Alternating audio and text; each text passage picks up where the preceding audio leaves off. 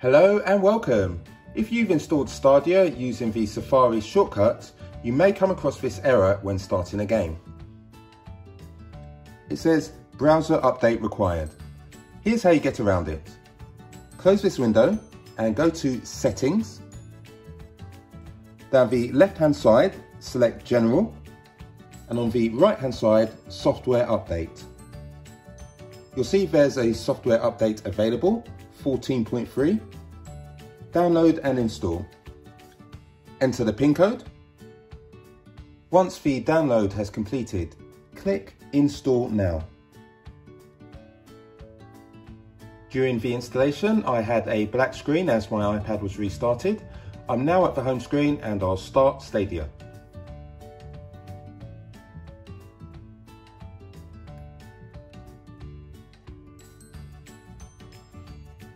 We have grid here. Let's start it. And as you can see, the game now launches. So hopefully that's helped you out. If it has, please give the video a thumbs up. It really helps me out a lot and lets others know this video will help them out too. Enjoy your gaming. Thanks for choosing my video and have fun.